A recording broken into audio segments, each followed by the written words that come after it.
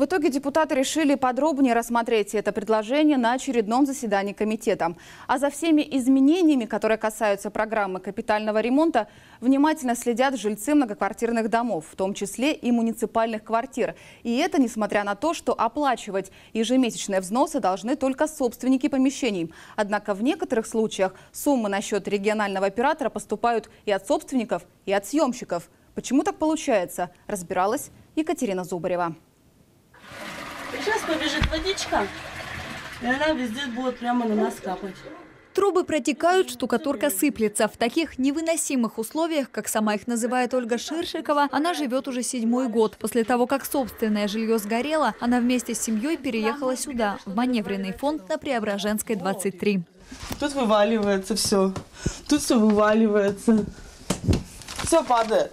Дом старый и давно требует ремонта, причем не только текущего, но и капитального. Кстати, и за тот, и за другой Ольга исправно платит. Когда в феврале прошлого года к основным коммунальным платежкам добавились взносы за капремонт, глава семьи Ширшиковых попытался возмутиться. Ведь платить должны собственники жилья, то есть городская администрация. Но в ЖКО, куда обратились жильцы, разбираться не стали.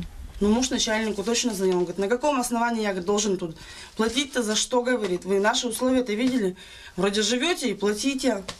Так это даже не наше жилье, муниципальное. Все-таки все говорят, там, уголовно наказуемо, там чуть ли не судебное, пристав говорит, может, из-за этого, не знаю. Платим, и все. Похожая ситуация и у семьи Рычковых. Квартира, в которой живет пожилая пара, не приватизирована и принадлежит городу. Но квитанции за капитальный ремонт, так же, как и в предыдущем случае, жильцам приходят. За капитальный ремонт приходят квитанции? Все время, каждый месяц стабильно.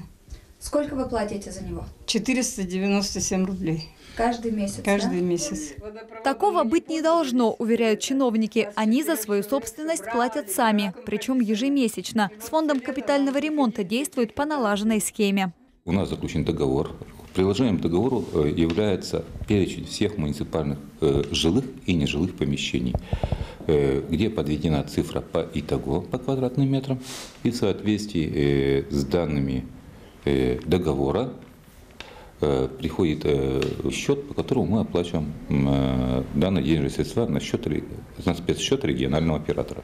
Данных о том, что в какие-то муниципальные квартиры приходят квитанции за капитальный ремонт, в администрацию города не поступало. Заявления жители не писали, соответственно, и проверку никто не проводил. Однако оставлять эти случаи без внимания нельзя, считают в прокуратуре.